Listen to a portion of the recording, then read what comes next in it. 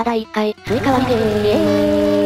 ということで今回レイムさんには現実で目をつぶっていただき私が指示してスイカを割っていただきます。合点承知。では選手の意気込みを聞いてみましょう。レイムさんいかがでしょうかそうですね。では第1回スイカ割りゲーム。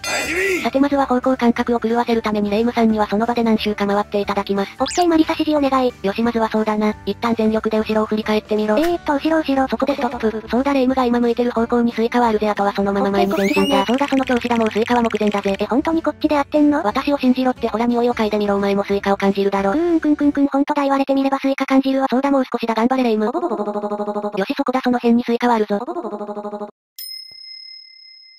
海に入った時点で普通は気づくだろ。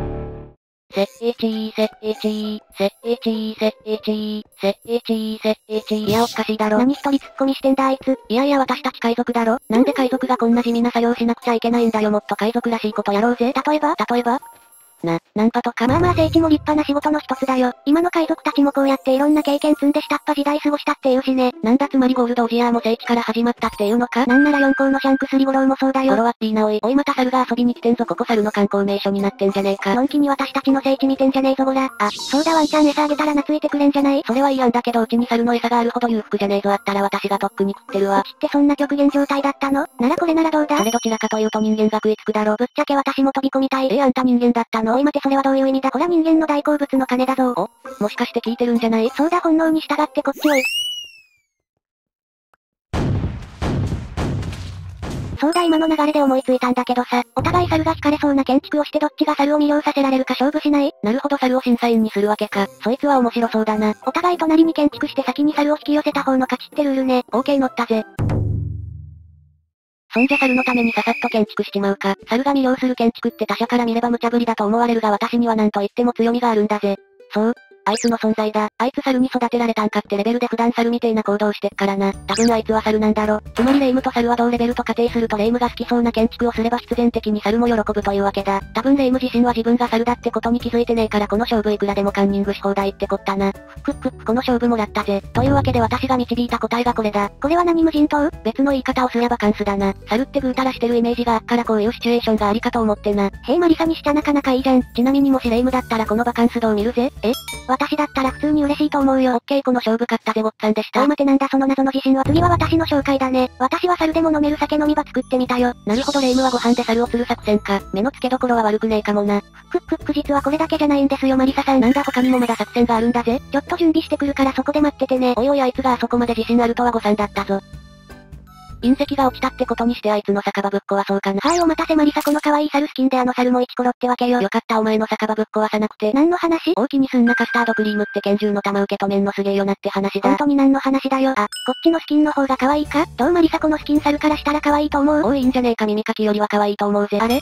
後ろの猿お前に向かってきてねえか？ほらやっぱスキンの効果だよこれ。おいおい嘘だろ。まさか本当にスキン変えただけで効果あるっていうのかこんなブスなんだぞ。おい今なんつった？でもちゃんと向かってきてるしやっぱ猿からしたら可愛いんだよ私。えー、あいつ急に方向転換したぞやっぱ近くから見たお前ブスなんだって。よしお互い完成したってことで早速審査員の方に審査してもらうか。用意した審査員はこちらです。3分クッキングみてえだな。それでは審査員の方を解放します。よろしくお願いいたします。では審査員さんお願いします。さあ今審査員を解き放ちました。果たしてどちらの建築が気に入ったのでしょうなほーら見たことかマリサこれが猿にも好かれる私の魅力ってやつだよ。私には襲われてるようにしか見えないんだが。愛情表現は人それぞれだよマリサ夫婦。可愛いやつ目殴りすぎだ死ぬわバカタレが。愛を否定してんじゃねえか。やったねマリサ私たちの今日の晩ご飯ゲットしたよ。食べるの？ねえそれ食べるの？それでは審査員の方を解放します。よろしくお願いいたします。では審査員さんお願いします。さあ今審査員を解き放ちました。果たしてどちらの建築が気に入ったのでしょうあいつどっちにも近づく気配ないんだけど。こう俺だから猿は困るよね。と猿が言っておりますけども。ほーらお前の仲間の肉がとこっちおいであのクソ猿とうとう座り込みやがったぞ。ああもう我慢の限界だ私行くぞ行くぞもうこうなったら強行手段だ。ほら大丈夫怖くないよ。なんだ自分の顔に自信がねえのか大丈夫だ目の前のブス見てみろこんな奴でも明るく生きてんぞ。お、ブス見て元気出た。よかったー私ブスで誰がブスだこの野郎。お、こっちに来たぞいいぞそのまま私のところまで来い。ど、どうした夕日なんか眺めて相談乗ろうか？なんか食べたいものある私の腕かじるか？おいそろそろボス討伐しに行くぞそこの猿。誰が猿じゃ？どう見ても猿だろアホか。てかい？つまでそのスキンでいるんだよはよ戻ってこいや。あ、そうだねいつまでも猿でいられないしね。なんだこいつどっから来やがった？おい猿危ないぞ猿だー。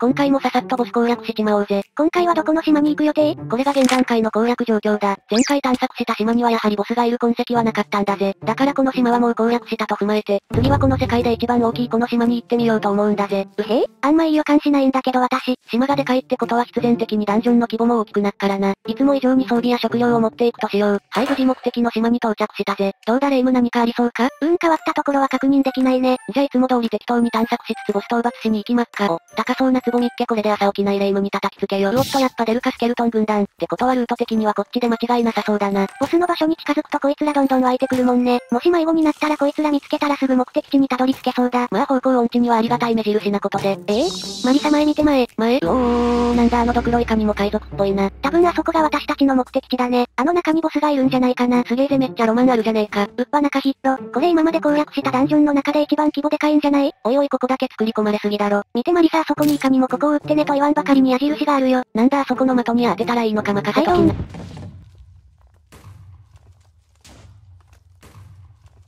お、新しい道ができた。なあその大砲封印しね。どーんだけ広いんだこのダンジョンは。もう潜って15分ぐらい経つもんね。そろそろボスエリアが見えてもいい頃だけど、あ、あれボスエリアじゃない？おーなんだやっとボスエリアに着いたのか。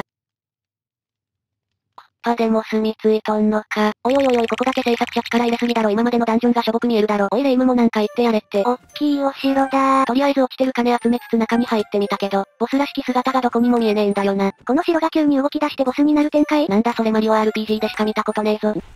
なあ前にでっかいスケルトンいねえか？ほんとだザコスケルトンと比べて随分強そう。あああれボスじゃん。嘘だろやっべこいつザコスケルトン召喚していくぞ。よし任せとけ今こそこの大砲の出番だ。前回のボス戦で忘れてきたやつな。今度はちゃんと持ってきたから許して待ってこの大砲強すぎないあいつの体力ゴリゴリ削れていくんだけど。確かそいつリロードなしで永久的に撃てるんだったよな。なんなら耐久値も減らないチート武器ですねこれ。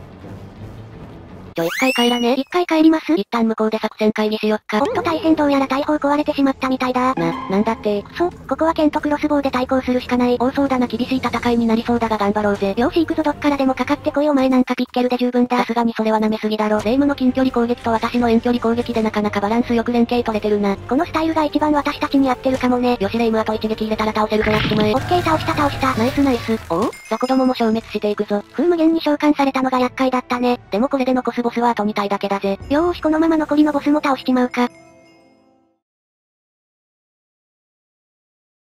今日の質問さん。最近ハマってるお菓子は何ですか？ポッキーですかね？ポッキー買って一人でポッキーゲームしてます。